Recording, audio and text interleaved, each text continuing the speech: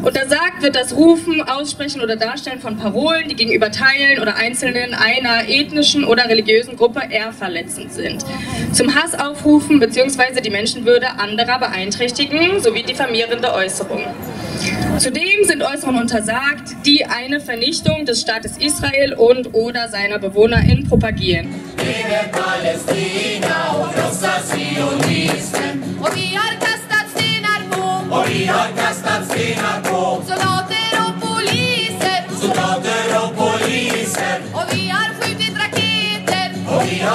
skjutit raketer mot våra fiender. mot våra fiender. their identities, not just female and male, who are experiencing sexualized and gender violence, feminicide.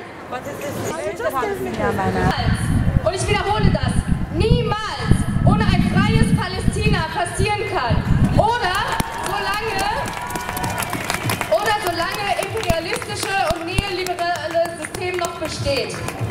Denn die Damen hier haben einen sehr ausgrenzenden Feminismus.